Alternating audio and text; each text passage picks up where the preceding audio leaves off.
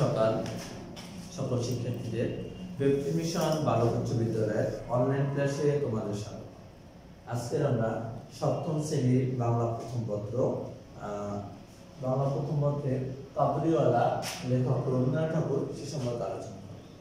কাবুলিওয়ালা লিখেছেন আমাদের বিশ্বকবি রবীন্দ্রনাথ ঠাকুর।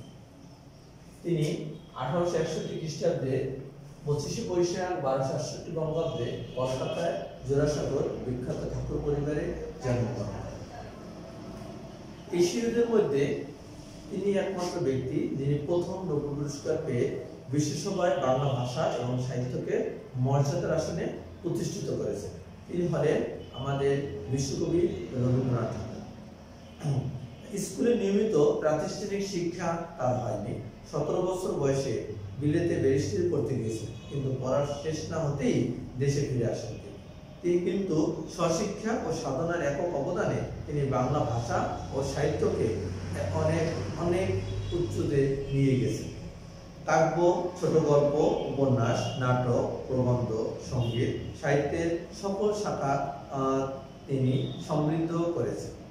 ব্যাকরণ, ভাষাতত্ত্ব, ছন্দ ও চিত্রকলাতেও তিনি অসামান্য অবদান রেখেছেন। অনন্য সাধারণ তার প্রতিভা। তিনি একাধারে সাহিত্যিক, চিন্তাবিদ, শিক্ষাবিদ, দার্শনিক, গীতিকার, নাট্যকার ও নাট্য প্রযোজক ও শান্তিনিকেতন ও বিশ্বভারতীর মতো প্রতিষ্ঠান গড়ে তিনি শিক্ষায় নতুন ধারা সৃষ্টি করেছেন। রবীন্দ্রনাথের একটি দেশপ্রেমমূলক গান বাংলাদেশের জাতীয় সংগীত। রবীন্দ্রনাথের লেখা গ্রন্থের সংখ্যা অনেক ছোটদের জন্য তিনি অনেক রচনা সম্বলিত কৈশোরক নামক একটি সংকলন করেছেন। উনিশশো একচল্লিশ খ্রিস্টাব্দে সাতই আগস্ট, বাইশে শ্রাবণ, তেরোশো আটচল্লিশ বঙ্গাব্দ, কলকাতায় তিনি মৃত্যুবরণ করেন। এখন আমরা কাবুলিওয়ালা বিষয়ে শব্দ সম্পর্কে, গল্প সম্পর্কে একটু আলোচনা করব। যেমন এই গল্পটার একটু বলি। যে কাবলিওয়ালা। কাবলিওয়ালা মূলত একটা একজন ব্যক্তিকে নিয়ে, একজন ব্যক্তিকে কেন্দ্র করে গল্পটা সৃষ্টি হয়েছে। আমরা তার একটু আলোকপাত করব। আমরা আমার পাঁচ বছর বয়সে ছোট মেয়ে মিনি এক দণ্ড কথা না কইয়া থাকিতে পারে না। মানে একটা একটা একজন বাচ্চার কথা বলছে, সে এক দণ্ড কথা না বলে থাকতে পারে না।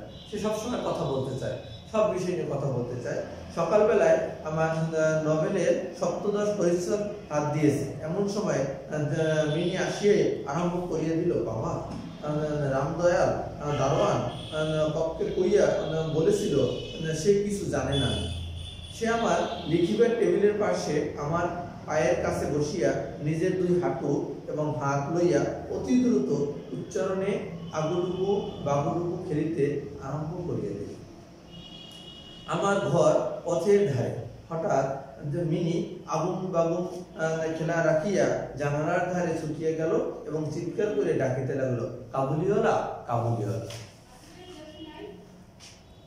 ময়লা ঢিলা কাপড় পরা পাগড়ি মাথায় ঝুলি ঘাড়ে হাতে গোটা দুই চার আঙ্গুলের বক্স এক লম্বা কাবুলিওয়ালা পথ দিয়ে যাইতেছে। তাহাকে দেখিয়া আমার কন্যারত্নে কিরূপ ভাবোদয় হইল বলা সব তাহাকে ঊর্ধ্বশ্বাসে ডাকাডাকি আরম্ভ করিয়া দিল মিনি চিৎকার চিৎকারে যেমনি কাবুলিওয়ালা হাসিয়া ফুটিয়া ফিরাইল এবং আমাদের বাড়ির দিকে আসিতে লাগিল, অমনি সে ঊর্ধ্বশ্বাসে অন্তপুরে দৌড় দিল।